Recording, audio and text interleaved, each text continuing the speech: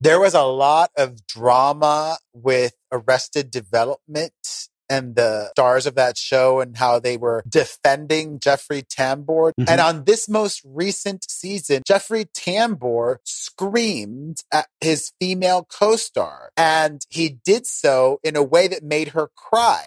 I saw him mention something about the lines being blurred and some method actors they take their role off of the screen as well and they walk around in that role. So I, I don't know how that works. I, it's hard for me to criticize or even understand what happens on a movie set or on a on a television uh, set.